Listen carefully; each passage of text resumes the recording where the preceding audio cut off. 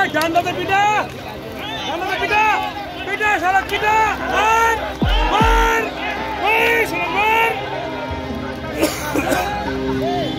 আমাদের গণতন্ত্র বলি আপস নয় আদত নয়। লড়াই লড়াই লড়াই লড়াই করে পেয়েছি যা। এই লড়াইয়ের নেত্রীকে। এই লড়াইয়ের নেত্রীকে। বন্দে থেকে নারদা কাণ্ডে সরগরম হয়ে উঠেছে রাজ্য রাজনীতি রাজ্যের চার মন্ত্রী বিধায়কদের গ্রেপ্তারি নিয়ে চলছে টানা পড়েন। সোমবার দিনভর নাটকের পর নিম্ন আদালতে চারজনের জামিন মঞ্জুর হয়, কিন্তু পরবর্তীতে হাইকোর্টে সেই জামিন খারিজ হয়ে যায়। আগামী উনিশে মে, বুধবার সেই মামলার পরবর্তী শুনানি। মাঝখানে এই কদিন জেল হেফাজতেই থাকতে হবে তাদের। আর সেই কারণেই করোনাকে রুখতে রাজ্যে জারি হওয়া বিধিনিষেধকে কার্যত বুড়ো আঙুল দেখিয়ে বিক্ষোভ চলছে তৃণমূল কর্মী সমর্থকদের।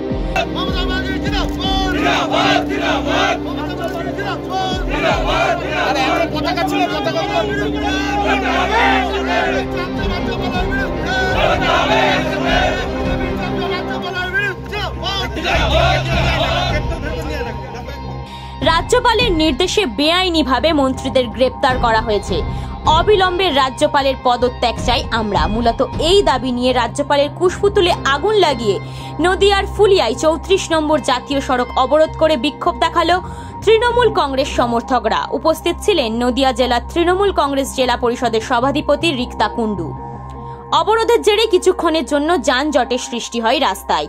খবর পেয়ে ঘটনাস্থলে আসে শান্তিপুর থানার পুলিশ।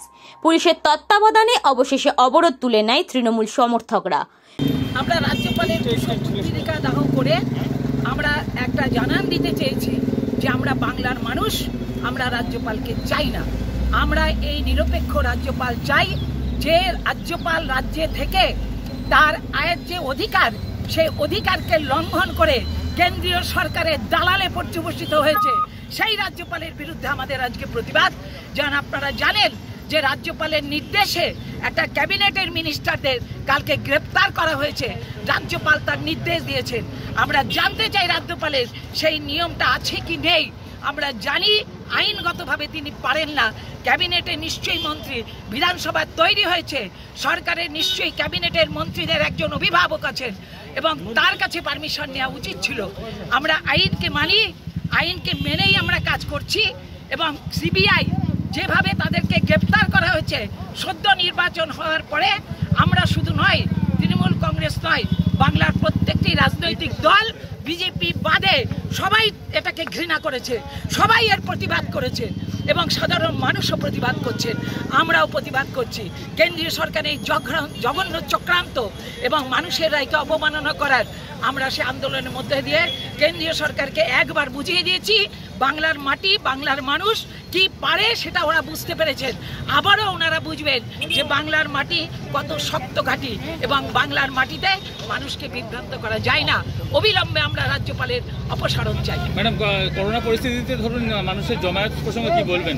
দেখুন আমি বলছি করোনা পরিস্থিতির দায়িত্ব কেন্দ্রীয় সরকারের আছে। শুধু রাজ্য নেই। রাজ্যের মুখ্যমন্ত্রী মুখ্যমন্ত্রী হবার পরে মমতা বন্দ্যোপাধ্যায় সব কিছুকে ছেড়ে দিয়ে করোনার দিকে নজর দিয়েছেন। স্বাস্থ্য দপ্তরের সঙ্গে কথা বলেছেন আমাদের লকডাউন ঘোষণা করেছেন সবকিছু করেছেন রাজ্যের মুখ্যমন্ত্রী মমতা বন্দ্যোপাধ্যায়।